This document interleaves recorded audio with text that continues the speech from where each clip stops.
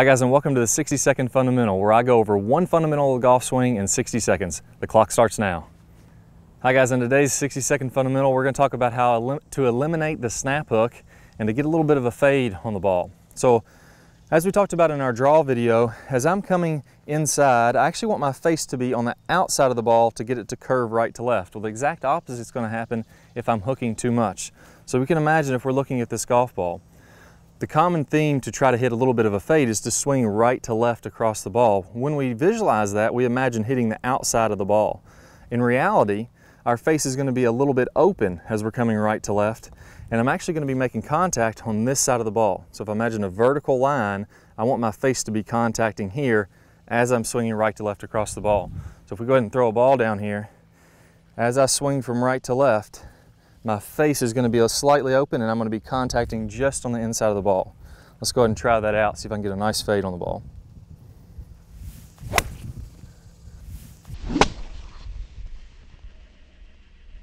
There we go, that was about a 10 or 15 yard fade.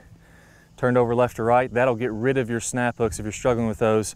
Work on that drill, hit the inside of the ball, and you'll get rid of the hook. All right, so I hope you guys really enjoyed this video. Now, we're gonna be putting up a lot more content in the future, so be sure to subscribe by clicking the button at the top of your screen. That way you can see our latest content absolutely for free. I've also got a bonus for you guys, which is a lag video. It's gonna help you build massive amounts of lag in your downswing, and about five or six bonus videos you're gonna get on the site with that too. So all in all, you're gonna get tons of great instruction absolutely for free. Just click the link that pops up on the right-hand side of your screen or down below in the description if you're joining us on a mobile device. Good luck and I'll see you in the lag video.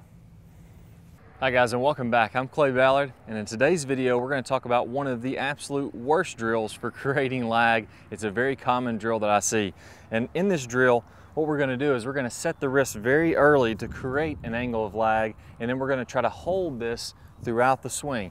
It's one of the worst things that you, can, that you can do to build lag. I'm gonna talk about the science behind why this is the case, and I'm also gonna give you a great drill to help you improve your lag all in this video. Let's go ahead and get if started. I do it this way versus holding that position.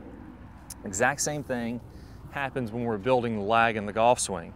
So what we wanna do is throughout the swing, I wanna have a very low and wide takeaway. So I'm not gonna set my wrist early at all. You look at a lot of the top players, you look at uh, Adam Scott, very wide takeaway, not very much wrist set at all. You look at Rory McIlroy, look at Tiger Woods. All these players are using a wide takeaway and not getting very much wrist set so that later in the swing, as we start down, we can increase this wrist set and we're really only gonna max out this angle of lag for a split second in the downswing. Okay, so a three-step drill here. Now, as we get started with this, I want to remind you that the fulcrum in this golf club for getting a massive amount of lag is right at the end of the golf club. This is where I want my hinge point to be. I want to use the full length of this club to build lag and then release lag.